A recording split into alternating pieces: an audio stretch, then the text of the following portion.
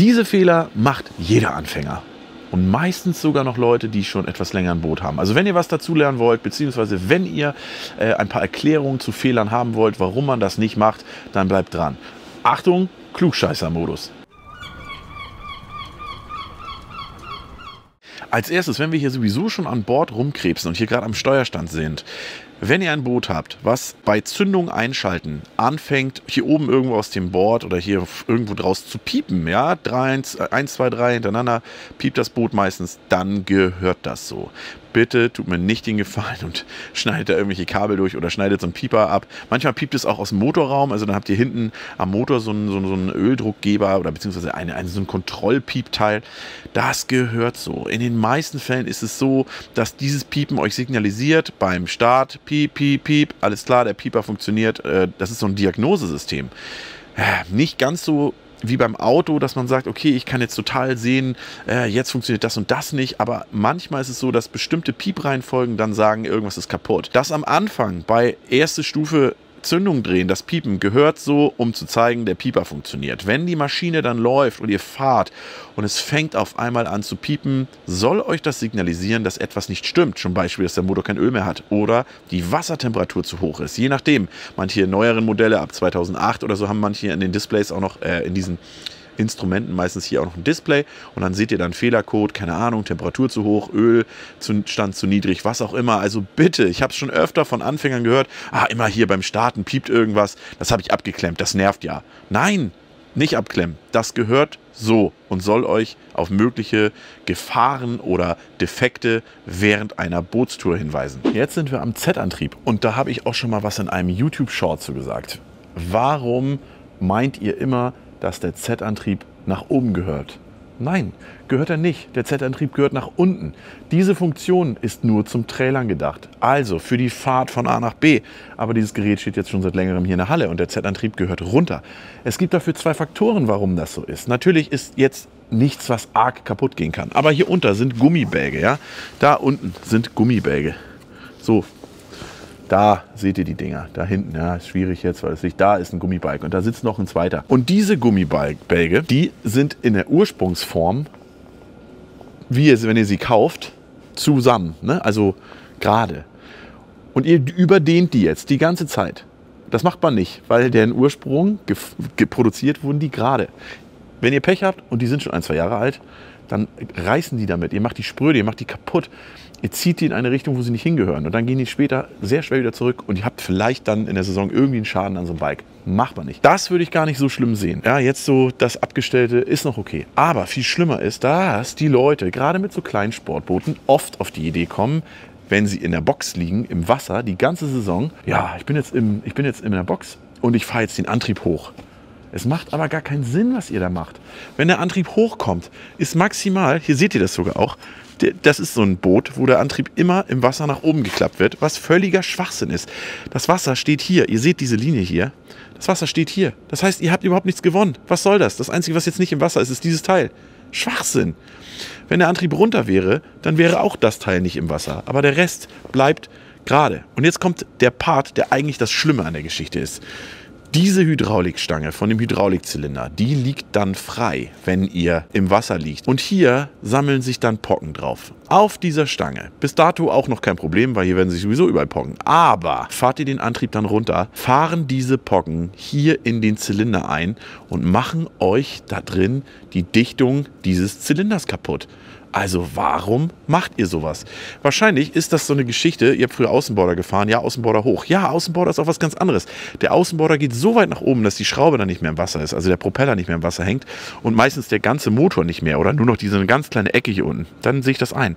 Aber in diesem Fall seht ihr das perfekt an diesem Beispiel. Es macht keinen Sinn, den Antrieb hochzuklappen, denn drei Viertel des Antriebs, also die wichtigen Teile, sind sowieso im Wasser. Wie gesagt, ihr macht euch wahrscheinlich noch diese Trimmzylinder kaputt, die kosten dann beide mal eben wieder 1000 Euro, wenn ihr die tauscht oder ihr lasst die da aufarbeiten arbeiten und die Dichtung neu da drin machen. Aber auch die Dichtung da drin neu zu machen, ist nicht so einfach. Da muss dann auch jemand bei, der sich damit auskennt, irgendeine Hydraulikfirma. Es ist einfach nur ein Anfängerfehler, den ganz viele machen, die einfach eben keine Ahnung vom Sportboot und Z-Antrieb haben und früher immer Außenborder gefahren haben. Macht es nicht. Im Wasser, Antrieb runter. Das ist nur eine vorübergehende Position beim Trailerfahren. Hier ist jetzt noch diese Trailer-Dings dran. Aber wenn ihr dann irgendwo steht, nimmt diese Leiste hier wieder ab ja, und macht den Antrieb wieder in Ursprung.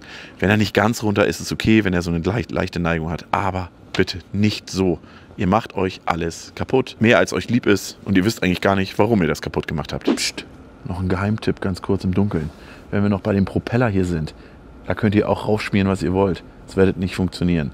Diese ganzen Tipps auf einem schnellen Motorboot, schmiert doch da Melkfett drauf, Nivea-Creme, Bremsenreiniger, keine Ahnung, Vaseline. Ja, das hält ganz genau so lange, wie ihr das erste Mal den Motor startet und so lange, bis ihr zum ersten Mal den Hebel auf den Tisch legt und das Boot schnell wird und diese Propeller schnell drehen, dann wascht ihr alles darauf ab. Das hilft auch nicht gegen Pocken, auch nicht Melkfett, auch nicht Poggenfett. Auf dem Propeller bei schnellen Booten, vorsichtig, schnelle Boote, ich rede nicht von Segelbooten und langsamen Booten, schnelle Boote, hier auf dem Propeller irgendwas drauf zu schmieren, bringt gar nichts.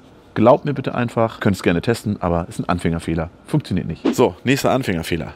Trailerwinde, ja. Ich will jetzt gar nicht so weit ausholen über Slippen und so weiter. Da gibt es andere Profis. Ich bin jetzt nicht der Slip-Profi. Aber ich kann euch eine Sache sagen. Diese Trailerwinde ist dafür gedacht, euer Boot aus dem Wasser zu ziehen, nicht zur Ladungssicherung.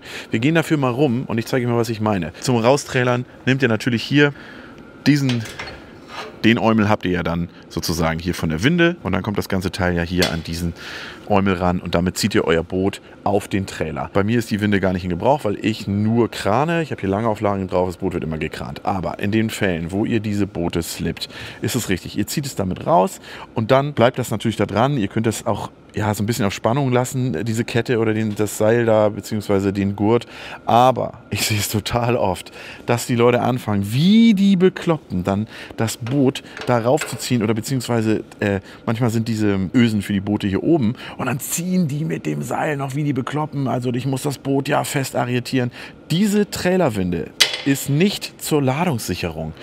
Denn oftmals, wie gesagt, sind hier dann diese Ösen und dann zieht ihr mit diesem Teil das Boot so weit runter, dass entweder hier dann anfängt Krähenfüße in das Gecko zu kommen, weil es kaputt geht und im Endeffekt zieht ihr das Boot so weit vorne runter, dass ihr hinten den Arsch theoretisch anheben würdet, wenn das Boot leichter wäre. Und dann fahrt ihr damit los. Nein, macht das nicht. Ihr habt hier diese Ösen zum Verzurren. Ihr zurrt im Endeffekt von hier nach hinten an den Trailer und so macht ihr das hinten an den Badeplattformen, ist meistens, oder unter der Badeplattform sind auch rechts und links zwei Ösen, in denen ihr dann nicht von da nach da zurrt, sondern von hinten in die Mitte des Trailers. Das ist nicht Ladungssicherung. Ihr macht euch das damit kaputt oder zieht das ganze Boot so weit nach vorne. Also ich sehe das jedes Mal, dass da die Leute wie die Bekloppten an dieser Kurbel ziehen, obwohl das Boot hier schon anliegt, nur weil man glaubt, ich sichere damit das Boot ab. Nein, Anfängerfehler nicht machen. Wenn das Boot damit raufgezogen wurde, dann bitte ordentlich verzögern verzurren für die Ladungssicherung. Da machen wir immer noch mal mit einem Kollegen, der speziell sich damit sehr gut auskennt mit Ladungssicherung, mal ein Video. Aber das nicht zur Ladungssicherung. Ich habe ein ganzes Video zu diesen Batterieschalter an Bord gemacht. Verlinke ich euch oben mal. Aber ein typischer Anfängerfehler und den will ich jetzt hier in das Video auch noch mit reinknolzen. Nein, wir schalten diesen Schalter nicht auf both oder manchmal steht hier oben auch 1 plus 2. Nein, entweder 1 oder 2. Das sind zwei Batterien. Die wollen wir nicht zusammen zum Starten und Fahren nehmen. Die macht ihr damit kaputt. Bitte glaubt es mir. Entweder eins, fahrt auf eins, ankert auf eins, macht die eins leer, sieben Tage vor Anker, weiß ich auch nicht, oder acht Stunden mit voller Last. Und wenn ihr abends dann die Maschine nicht mehr starten könnt, habt ihr sozusagen einen Zusatzakku. So müsst ihr euch das vorstellen. Ne? Ganz einfach. Wie ein Zusatzakku zu eurem Handy. Den ersten, der leer ist, den nehmt ihr raus und packt den zweiten rein und dann könnt ihr ganz normal damit nach Hause fahren.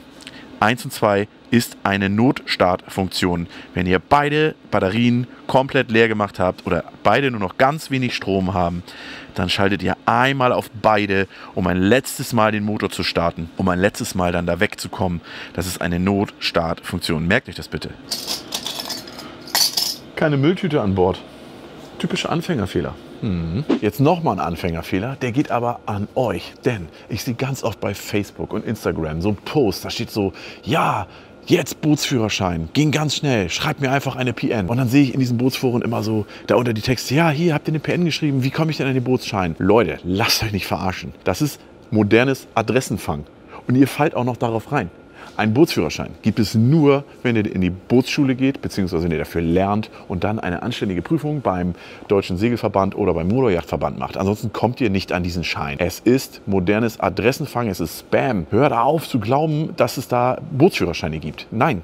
Genauso ist es auch mit Seefunkzeugnissen. Ganz oft sehe ich wilde äh, Profile bei Facebook, die irgendwo in der Motorbootgruppe posten. Hier, hab heute mein Seefunkzeugnis einfach so bekommen. Schickt mir eine Mail, ich kann euch das, schicke euch das einfach zu. Einfach bitte eure Daten schicken. Wer von euch ist denn so blöd und schickt da seine Daten hin? Also, die ganze Welt redet über oh, Phishing und nein, ich darf meine, darf, ich, ich benutze lieber kein Online-Banking. Da klaut jemand meine Daten. Nein, da seid ihr so kritisch, aber dann schickt ihr eure Daten an irgendwelche Leute, die einfach mal schreiben, hey, ein Seefunkzeugnis kann ich euch mal eben schnell ausstellen. Schickt mir einfach mal bitte eine Kopie von eurem Ausweis. Leute, da müssten bei euch schon die Alarmglocken angehen. No way, Finger weg, Finger weg, Finger weg. Egal ob Anfänger oder alter Bootshase. Nein, es gibt nichts kostenlos, es gibt nichts umsonst und es gibt nichts einfach so. Vergesst es, okay? Diese ganzen Scheine kommen von der Bundesdruckerei. Das gibt es so nicht. Ich hoffe, ich konnte euch heute so ein paar Sachen einfach mal zeigen, die auch vielleicht einige von euch, die nicht Anfänger sind, gar nicht wissen.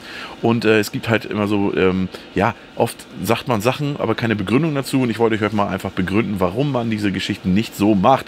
Und ich hoffe, in diesem Video konnte ich so ein paar Mythen mal einfach ausräumen oder beziehungsweise ein paar Sachen, die ich auch immer wieder bei mir hier im Hafen sehe und wo ich Leute darüber aufkläre. Wenn euch das gefallen hat, äh, lasst gerne ein Abo da und äh, liked das Video gerne mit einem Daumen nach oben. Und wenn euch das natürlich nicht gefallen hat, dann gerne natürlich auch nach unten. Kritik ist wichtig.